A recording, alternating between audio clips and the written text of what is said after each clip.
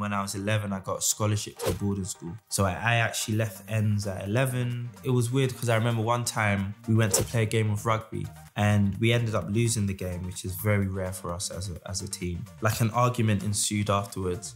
And I remember someone from my team referring to the other team as Council Estate scum. And them not obviously realizing that I'm from a council estate, I've grown up in a council estate. From a young age, I've kind of had a chip on my shoulder as a result. I've always been like, all right, you viewed me as less than because of my environment, but I can show you that anyone from this environment can achieve what you guys are achieving. You recently announced on Twitter that you hit the million pound mark as a business. I think now that we've done the first meal, it's about trying to replicate that again as quick as possible and continually scale. Today, I'm on my way to meet William Adoasi, a British Ghanaian entrepreneur who came from a council estate in South London to generating over 1 million in revenue with his high-end watch brand Vitae.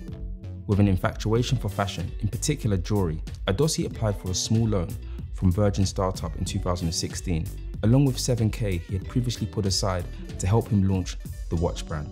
Later on, Adoasi went on to be mentored and endorsed by Richard Branson, the iconic English business magnate. I'm here to converse with William Adoasi about his entrepreneurial journey, how he's overcome difficult scenarios, and what he envisions Vitae to develop into globally.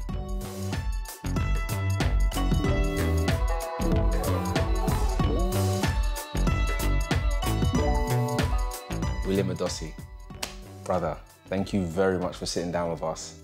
It's, I know you're a busy man, whether you're in Africa, in the UK, to pin you down and have you down today is like incredible. So first and foremost, thank you very much for taking the time. Um, this is a conversation. This isn't like a, an interview where it's like the right answer, politically right, or mm-hmm. just a conversation. Because I think what you've been doing over the past, I don't even give it a number, but over the past years has been incredible. Um, and to see the journey unfold every day and get larger and larger in its scale, it's like incredible. So first off, commend, I commend you for that. Um, but yeah, so just to kind of kind of get the the understanding of, of who William is. You grew up in Camberwell. Yes. Tell yes. me how Camberwell, Southeast London, molded and shaped William Adoasi. That's a great question. Um, yeah, so I grew up across Camberwell and Peckham, and yeah, back in the day, it's not the area that it is now. Um, back in the day, it was it was pretty manic to say the least, and I think it just shaped me in terms of like an acute level of awareness like you always had to be watching your surroundings. Um, but an, another way it shaped me, I would say, is just it gave me the value of community. Um, like yeah, growing up on our on our estate, we were always just around people. Like every single day, someone would come knocking on the door. Nine times out of ten, my mum would say no, but the times I was allowed out, like you're just around people, and community was everything. So I think that's one thing I even carry today. Like in everything I build, I try and make community center. So yeah, it definitely shaped me a lot. Yeah, I mean, Camberwell is a very uh, progressive place now, very diverse and somewhat becoming gentrified. Sure. At that time, you know, it's kind of in between Brixton, Peckham. You've got a lot of the the gang uh, and knife crime that at that time was pretty much mm-hmm. prevalent. prevalent. How, how did you navigate that environment? It was interesting. I think my parents shielded me a lot. Um, so yeah, my dad's a pastor. I'm the firstborn of seven children, and yeah, my dad was very hard on us in terms of discipline, in terms of studying. So he'd always send us to after school clubs, just keeping us like very occupied to try and ensure we avoided that lifestyle. Um, yeah, and for me, like I, I knew people in that world. Obviously, we all grew up with people in that world. Um, but I, I kind of I was shielded from actually entering it fully or kind of partaking or engaging in that. Um, I could have gone down that route, but for me, it's just it didn't it didn't really make sense. And I actually ended up um, going to a boarding school. So, because my dad was, I wouldn't say scared of the area, but he was aware of everything. Um, he he pushed hard on me to do like after school studies, as I said, and then when I was 11, I got a scholarship to a boarding school. So I, I actually left ends at 11. Um, I was all the way in the Midlands, coming coming back to London most some weekends and then for holidays. So that was just a big eye opener as well to see like that there's a different world out there. Um, you grow up in the in your area and you think that's everything. You think that's the only life that can be lived. And then I go to this boarding school and I see the cars that people's parents are picking up picking them up in. I remember being like, as I said, one of seven children. We were in this two bedroom like council estate flat. And then I go to boarding school, I go to my friend's house. It's just him and his sister, and they're in this like seven bed mansion.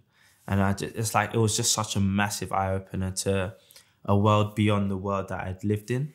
Um, so yeah, I think just my parents being super hard on education, being very disciplined and strict enabled me to kind of navigate what what was a pretty crazy world.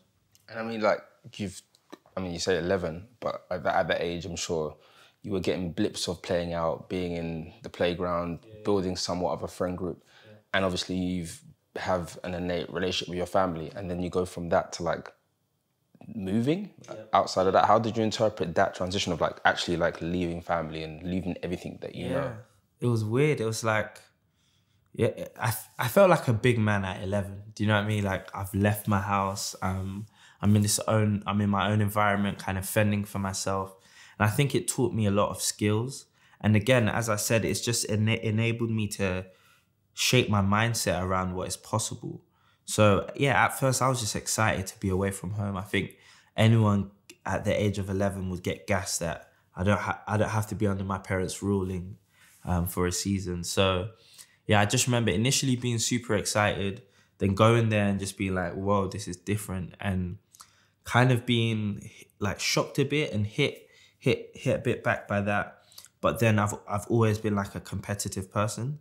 So when I entered that environment, I just wanted to compete. I wanted to compete in terms of when it came to mm, education, but not so much the education. I should have been more serious with that. But I saw my competitive nature come out a lot in sports and, and other arenas.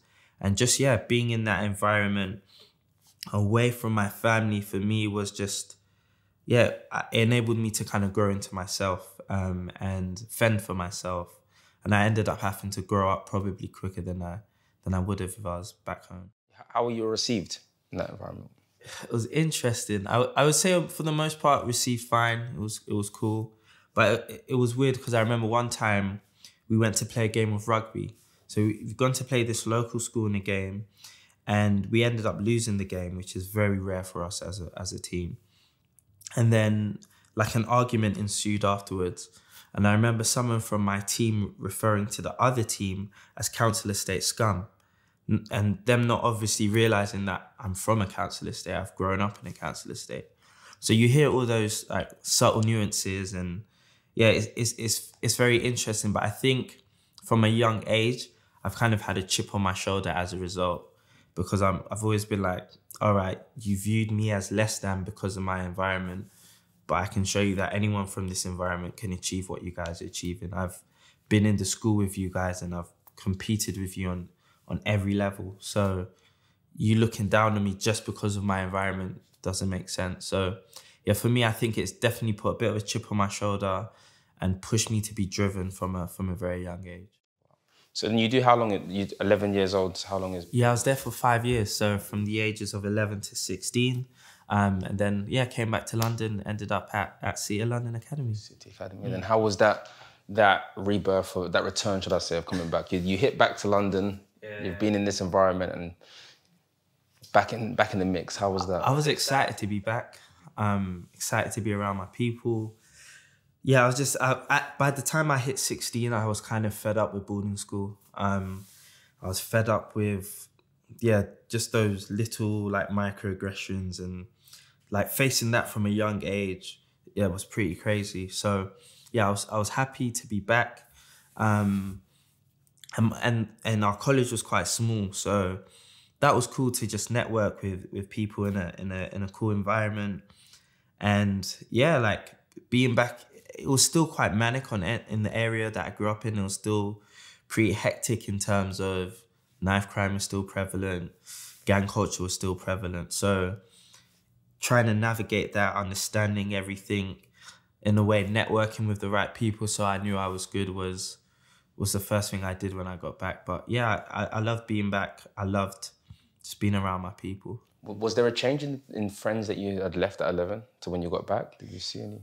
Yeah, definitely. Um, sadly, some friends went down the wrong path. Um, I've yeah, in in varying varying different degrees.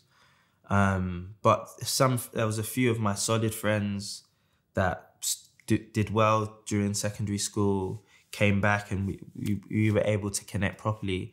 And again, I was coming back over summer holidays, so I was still I was still quite close with a lot of them. So yeah, that was that was eye opening again to just see from 11 to 16 the way people grew up the routes diff- the different routes people took and the people yeah the way people evolved was very very interesting. Um yeah unfortunately as i said some down the wrong path but a lot of people actually ended up down a, a pretty good path. So you've taken this like educational route and you've clearly had a lot of investment from your family pushing that as as the way to go. And as we know, education generally kind of veers more towards working for a company or or, or organization. When do you think the the idea started to kind of stem for you to to to go out your own way? Because I know Vitae isn't your first company. When when did that transition happen? For sure. I think I've always had it in my heart to be an entrepreneur. I don't know where it came from. I, I didn't know, yeah, the root of that desire. But at the age of 19, I'd done uni for a year. I actually dropped out of uni without telling my parents. Um, and I started a sports academy. So I saw all my friends that I'd grown up with, gone to college with, loads of them had done like these FA level one or two qualifications. They had done their CRB checks because they they'd done some work around it. And I saw a lot of them were sitting idly. Um, they had free time on their hands. Some of them were in university, so they had some free days. Um, so when I spotted that opportunity, I started calling up schools and and telling them about the amazing talent that I was representing. Um, these these great sports coaches that were passionate about um, young people and wanted to run these after school clubs. So and at the time, the government were giving primary schools funding to kind of help tackle childhood obesity. Um, so I, it was such an easy pitch. I was able to sell in these people I had to these schools, tell them how to secure the funding for this. Um, and then, yeah, we were running these after school clubs and I was making a margin on top. So I ran that for about three years. And then, unfortunately, the government pulled funding and I wasn't sharp enough to pivot. Um, so as a result of that, the business kind of had to close down. I remember being like 22, we done six figures. I was so excited, but then I had to literally wind up everything. And I think I learned so much from that season. Uh, we had an office as soon as we could get one. And when I look back, there's so many little things we probably didn't need, probably didn't need the office, didn't need to be spending in other arenas, which could have given us a buffer for when something like as big as our funding um, kind of collapsed. Um, so yeah, at, at the age of 22, I then actually ended up working in the city as first an insurance broker and then a recruitment consultant. And while I was working in the city, I finished my degree part time um, because my parents are Ghanaian, so I couldn't couldn't really get get away with not finishing uni. Um, so yeah, I finished that part time, and then in 2016 was frustrated with the world of working full time, and yeah, ended up starting Vitae London. So just before we go into Vitae, just take me back between you being at a state where you're you're in uni and then you go, no, this isn't. What what what was the, where were you at at that space? Yeah, I, like I was going into uni every day, and I would say I just wasn't motivated in a sense. I think so. I was studying business, but I just wanted to build business. Like I was just passionate about practically putting into work everything I was learning day to day, and I was. We were getting just so many schools interested. We were interviewing so many new candidates. So after um, just my friends and family finding them roles, we ended up placing like job adverts on Gumtree and just inviting random people into interview. So that was just taking up so much of my time to the point where I was just like, this uni thing probably just isn't for me right now. So I parked that after year one. Um, and every day I was getting up dressed to go to my office. My parents just assumed I was going to uni.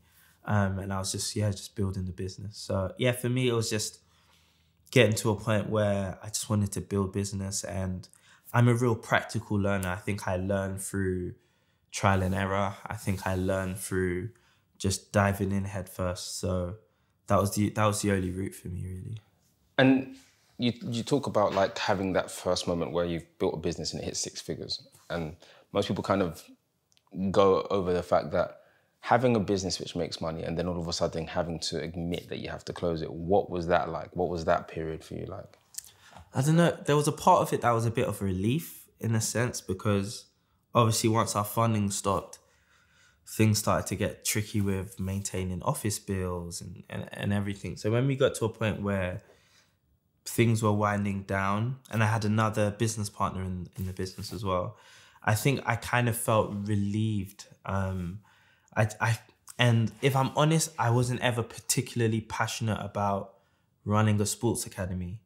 Um, it was just an opportunity I had spotted. Um, so when it was time to close up shop, um, yeah, there was a sense of relief, and also there was a there was still a sense of accomplishment. Like I realized that we'd achieved some good things, especially for our age. And there's so many things I've learned from that season that I apply to today. Um, so yeah, it was a blessing. At the time, it was, it was probably more awkward. It was difficult navigating every everything, but yeah, I'm, I'm happy I lived that season for sure. So you you've have you have this experience and you then follow the rules mm. and do what parents want, and you kind of go back into the conf, conf, like the structure, should we call it like? Sure. But somewhere in that, you're like, no, one more. Mm. What, what, what, tell me about that and why does that happen? I think I think some people are naturally geared to entrepreneurship. Um, it, I think it's just an innate nature. So for me, no matter what job I did, no matter who was my manager, my boss, who I was working with, I always felt a level of frustration after a certain amount of time. Um, I think maybe it's just upholding the structures or upholding just being a pawn within those structures for me. It got to a point where it just wasn't working. Um, so yeah, day to day, I like I was actually killing it. Like I was, I was one of the top rookies within my company. It was like a FTSE 250 listed company. So out of the whole of Europe, I was one of the like the top billers. Um, there was a point where I was bringing in like eight grand a week for my in terms of recurring revenue for my business, and I was doing well. But yeah, it just got to a point where I was like, wait a minute, I'm able to generate all this income for these people even if I just generated a fraction for myself, at least I would have freedom. Um, and I think freedom is the key for me. I think a lot of people don't know why they want to go into entrepreneurship or maybe understand it. But one of the key levers for me is is just freedom. Like the freedom, like I'm happy to work hard, but I want to work hard in an environment that suits me. And yeah, I think that was that was the kind of turning point for me. So then you decide to go into an industry which I don't know, from what it sounds like, you haven't had experience in per se. Why why going into why go into initially the watch and and take that path? Yeah, like so for me, growing up, I was always fascinated by watches. Like throughout all my early years, I would um, collect G-Shock, G-Shock watches and Casios. Then in college days, that graduated to these watches called the Aquamasters which I just loved, collected those. Then I started collecting like your Fossil, your Michael Kors watches. And then I'm in my, yeah, my mid 20s. And it's the point where you need to start upgrading to the flashy watches like what you're in, the the Rolexes and the and the and the big boy premium watches. And I looked at I looked at it and I, I was keen to to get into it and I I just felt to myself that at an affordable price point there just weren't many watches that really caught my attention. Um, I felt like at an affordable price point, like I'm talking the one, two, three hundred pound mark, there was just such a gap for someone to bring something that had a real classy appeal and that had the appeal of the more premium watches, but the masses could afford it. Um, so for me, just yeah, as I said, my fascinating with my, my fascination with watches growing up just evolved into me just spotting an opportunity um yeah to create some amazing designs but at a point a price point that every tom dick and harry would be able to to be able to buy one. So that's definitely where it stemmed from. Then it then it then launches Vitae London. Mm, mm. tell me about that transition and, and going into that. Yeah so Vitae launched in in 20 january 2016 um and Vitae is actually latin for life. So our whole kind of mantra, our whole ethos is to be the watch brand changing lives. Um, so in essence, whenever we sell a watch, we help support a child free education across sub-Saharan Africa. And yeah, like I always say, it was it was birthed out of like a frustration and a pain point. Frustration in working a job I wasn't passionate about, in knowing I was creative but not being able to pursue anything creative day to day. And then the second frustration is I was looking at like I was looking tracing back and talking to my dad and he's the first in my family line to learn to read and write. And this this breaks a cycle of poverty that was affecting us for generations.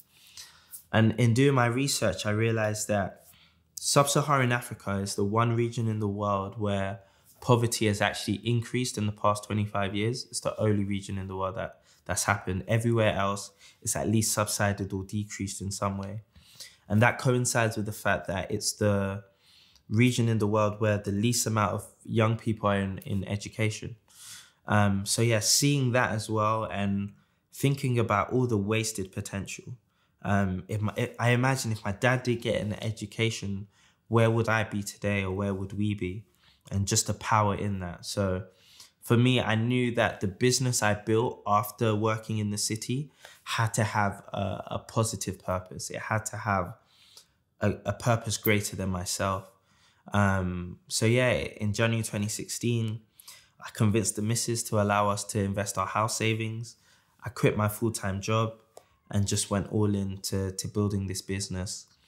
With just that, I think I had a bit of a naivety, if I'm going to be honest, around the watch industry. I probably had a bit of a naivety around the competition, but I think sometimes that's best because if you spend so many months and years researching it in depth, you'll kind of um, convince yourself into thinking that you you can never tackle it. Whereas because I had a bit of that naive naivety and I and I ran in um, head first, I was able to to go after my competition. I was able to build in an industry where a lot of people say it's impossible to kind of carve a new path out. So yeah, that's how it all began. And then you know you're going into this market space, and you mentioned about being a bit naive. What, what did you find out about it?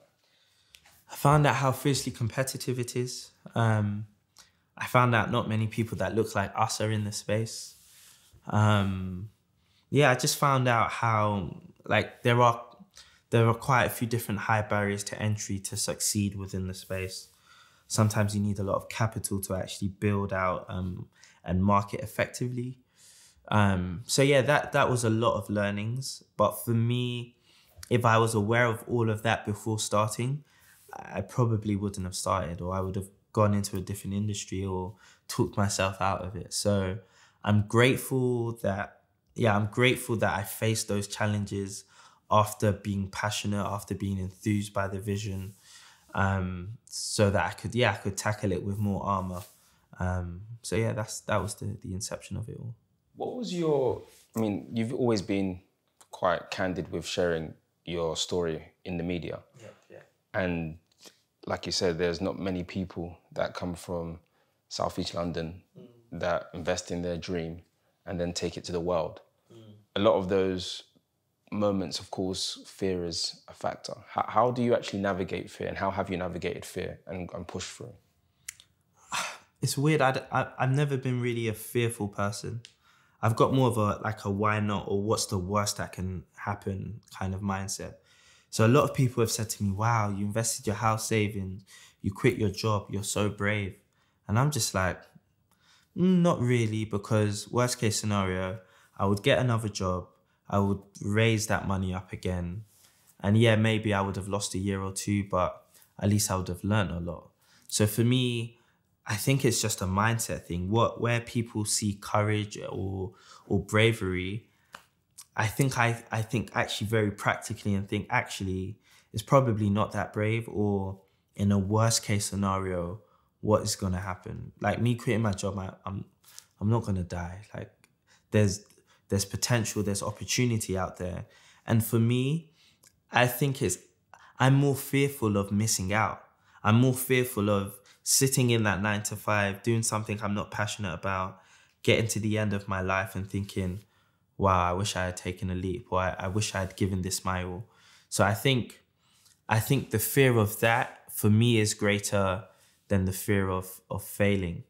And and that's what drives me. And for me i've just learned along the way especially from my first business that nothing shapes you more than a failure. Like nothing builds you more than failing because i learned so much more from my losses than my wins. Like i learned so much more from trying to navigate a situation that's difficult than just going through and winning winning winning so yeah like i i don't view fear the same way most people typically would And we're just like, I think that's powerful, by the way. And we're just getting to a stage where we're tiptoeing back into somewhat of civilization. But many businesses were put on hold um, for the past two years, still on hold because of the coronavirus. How did that impact your business and how did you navigate that, that, that dynamic?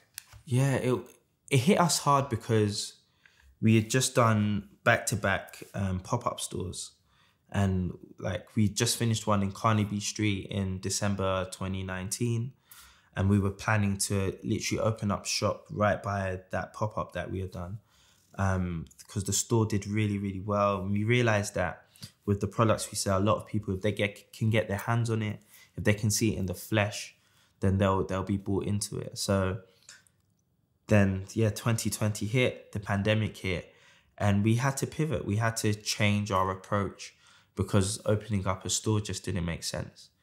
Um, and with everyone being at home we just we doubled down on our online business. Um, and last year was our biggest year ever for online sales so we were able to turn around what was a, a crazy situation. And then instead of um, investing so much into establishing establishing our own stores um, I brought my cousin on board who has like an extensive business development background, and then we we started exploring um, retail partnerships, and then yeah, thankfully we were able to secure Nordstrom on the back end of last year. So we're in thirty of their stores um, nationwide in the states, and we're about to be in another large retailer as well that we've just um, we've just confirmed. I can't announce just yet, um, but that's another big announcement coming soon. So for us in the midst of that hard situation, again, we just looked for opportunity. And the opportunity was doubling down online. The opportunity was instead of trying to establish our own retail presence, trying to partner with more established retailers. And America for us is is the next market we really want to try and enter and dominate. And yeah, thankfully we've been able to be in two of their biggest retailers now. Wow, congrats. So, like, you realized that e-commerce was going to be one of the factors to kind of elevate the business. For sure. And like you say, congratulations, Nordstrom is is a big deal.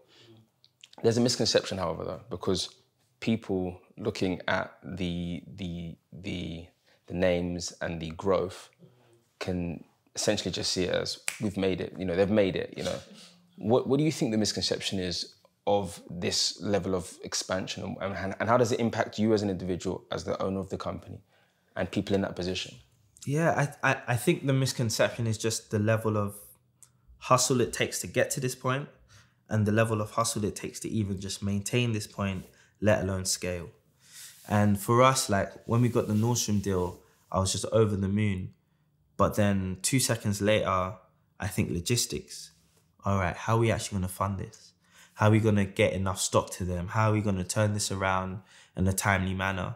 So it is weird because I feel like I'm not celebrating my wins long enough because instantly I'm just thinking, how does this make logistical sense? How do we, and how do we execute on a level where they would want to reorder and and things are established in a good way? Um, so yeah, that that was a, a, a massive eye opener for me, and I think a lot of people out there they probably don't know the day to day hustle that it takes.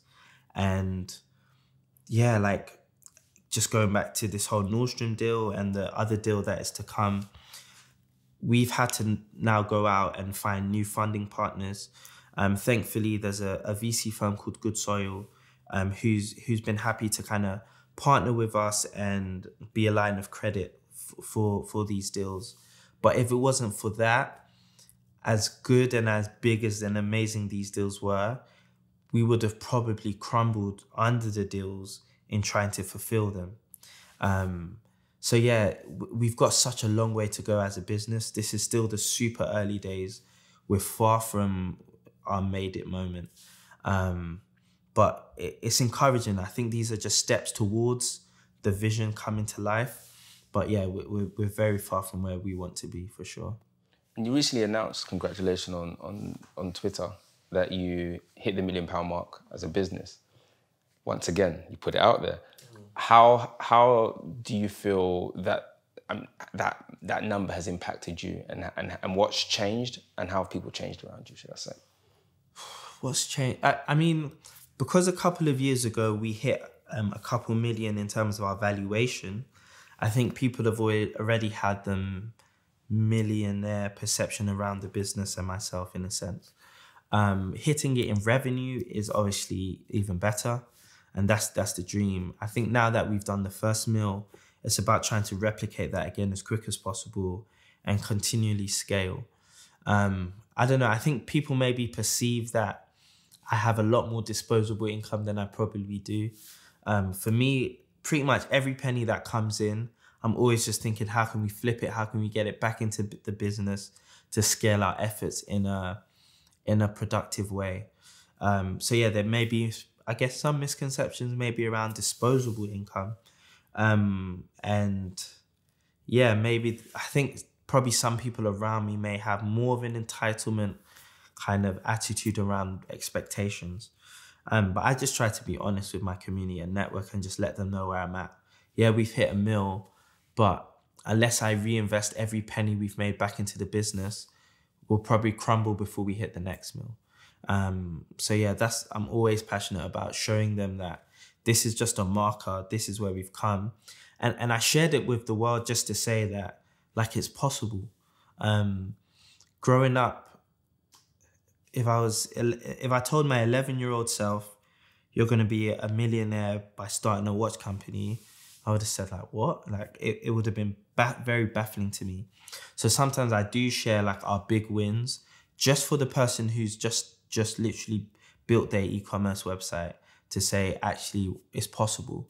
Someone who looks like me, maybe from a, a disadvantaged background like myself, has gone on to generate that amount of income and impact that amount of lives, then yeah, maybe I can do the same too. So yeah, that's why I try to be transparent with everything I do. I'm actually building a YouTube channel where I'm going to be talking a lot around building the business, every single element that's contributed towards the business growth so that many, many more people can be enlightened around what goes into building a successful e-commerce business.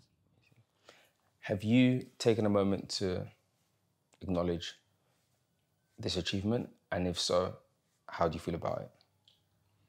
Um, it, it's a difficult one for me because yes, we've achieved some good things, but as again, we're very far from where we want to be.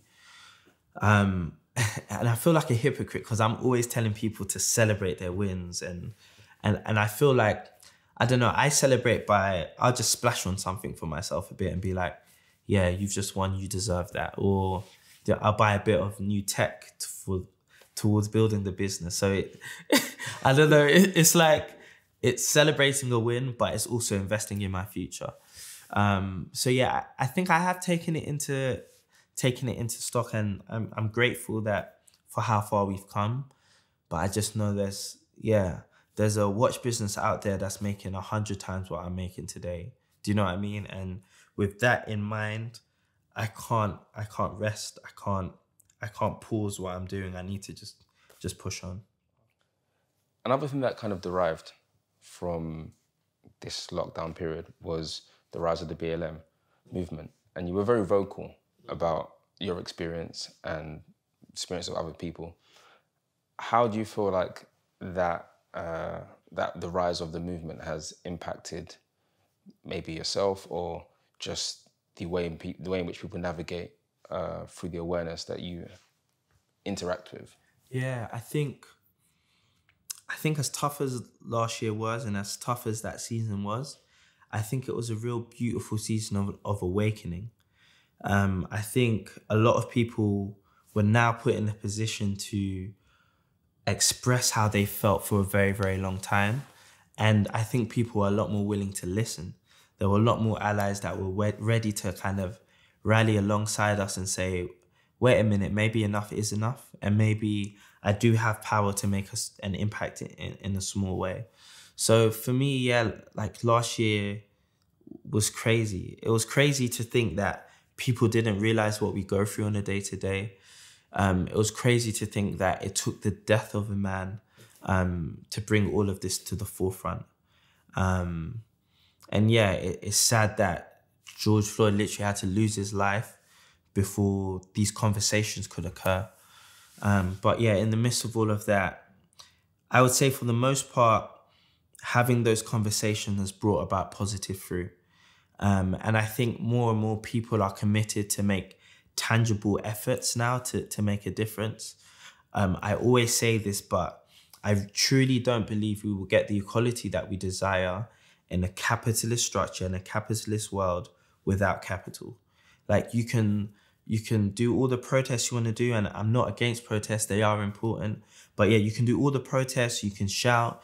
You can put all the black squares on on Instagram you want. You can do all of that stuff. But until there's until there's more capital poured into our, our communities, we won't see the impact and change we want to see. Um, so yeah, I think one of the most beautiful things that's arisen from that season is more people being conscious around actual physical, tangible things they can do to help support the community. I know Nordstrom have actually dedicated to doing over 500 million in sales from black owned or operated businesses.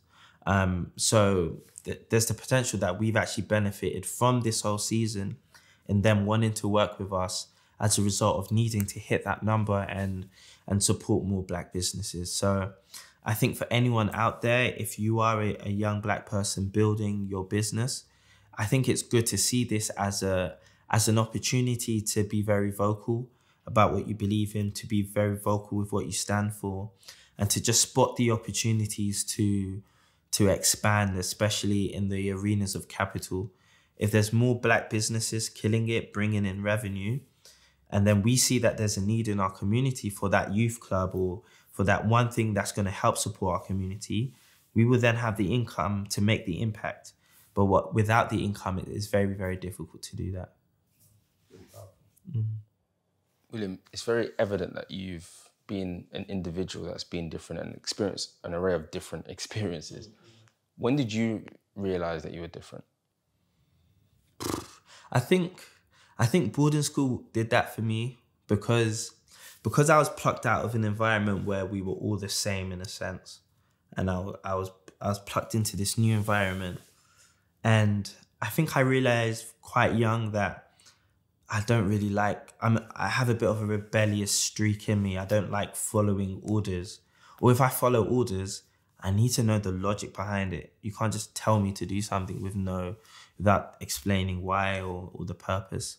And again, I think the systems and structures maybe in boarding school opened my eyes to the fact that I didn't like to stay within within boxes. And I think from a young age, I've had a bit of an attitude where I haven't really cared to be perceived as as the in person in a way. And I think when you don't care about being the in person, you're more likely to become the in person, if that makes sense. So I've just I've just always tried to be in my lane, even in in in building and creating and designing watches. Um, I've just tried to be in a lane which not many people are in, especially in our background, so that I can carve something unique. I just I just don't like I hate wearing what everyone's wearing. If I buy a car and then I see it on on the street loads, after a while I'm like, I don't want this car anymore. Everyone's got it. I've always just wanted to to to bring and birth unique things into the world. Also, just looking at like your journey to, to this far, what do you feel like you want all of the the work you're doing to kind of represent? I think I I think I just wanted to represent a life without limits. So I grew up in an estate where the media's always told us you're from this background, you have this limit on your life. I've grown up as a young black person, we're told we have these limits on our lives. Um, I went to boarding school where like people viewed me as less than because of my background. Again, limit they place this limit on my life, and I think everything I do, I want it to scream a life without limits. Like, and I want to, I want, I want that to be passed on to as many people as possible that you can live without limits. It's as simple as that. And we do that in the fact that, yeah, when someone buys a watch, we provide a full set of school uniform or a solar lamp to a child in need so that they can study. Um, so like everything we do is removing limits. Um, limits, whether it's the physical ones across sub-Saharan Africa or just the limits of mindset. That's why I share our wins because I just want someone else to see and say, actually, these limits that we think are real, maybe they they aren't, and maybe we can overcome, and maybe we can do beyond what we've been told we can do. Amazing. And you you seem very vocal to kind of like the next generation, even when you're talking to me here. Outside of like the practical element of business and you having, you know, the logical approach to things, what have you done or what do you do? No, let's say what have you done to kind of cultivate your mindset? Because a lot of what you're saying, like you said, it's when like the work meets the moment. You know, like even you mentioned Nordstrom, like you couldn't have been in a position for Nordstrom if you hadn't done the work. And when you didn't have the that kind of a deal, or you were going through the motions of like stores, how how how how does personal development play a part in your in your day to day? Um, I'm always just trying to feed myself and and understand the way I like to be fed. Right. Um, if if you absolutely hate Chinese food and everybody's telling you Chinese food is the only food you should eat and then you you're trying to force feed yourself that route like you probably get to a point where you're fed up you're like oh, i can't do this anymore. And i think for me that's the same in maybe education or like read this book and do that. I don't necessarily learn those routes but audiobooks for me have been incredible podcasts for me have been incredible and there, there's a podcast called how we built this or how i built this and I think in the early days of my business, that was instrumental because so many people were just sharing their stories of from zero to to to hero and how they came from nothing. And I think if you hear that day to day and it reinforces your mindset, you, you get to a point where again you just feel like the, the limits are fake and you, you can break through those limits. Um, so yeah, I, I would say that's how I feed myself. I try to have positive examples all around me. Um, I've been fortunate enough to be mentored by the likes of Richard Branson. But even aside from that, just listening to even recently, I, I listened to 50 Cent's latest book. And after you listen to that, you kind of, in a sense, feel like you've been mentored by 50 Cent because you, you've kind of gauged all their pearls of wisdom. You understand their day to day. So I think in this modern day, you can be mentored by so many people that you've never even met. And I would just encourage people to find out what feeds you. Stop force feeding yourself in a way that, yeah, it doesn't feel natural. Find out what you're naturally drawn to and, and feed yourself that way as much as possible. Amazing. And last but not the least, who is William Adoasi? Who is William Adoasi? That's a that's a deep question. I would say William Adoasi is a a dreamer, an innovator, and someone who just makes things happen, someone who th- puts things into action. Um, but yeah, that yeah, that's what that's who I would say I am. It's a very tough question to answer um, because yeah, there's obviously many other layers to it. But yeah, that's that's who I am. I'm I'm a dreamer. I'm an innovator, and I always want to level out the playing field. Um, I really do want to see equality for more people, and I think business is one of the ways we can achieve that. I feel like you're doing your part, and it's like I said from the start, it's inspiring. We love it. We we like to promote it, and um, thank you for taking the time for today to share your journey with us. Thanks for having me, my bro. Thank you, man.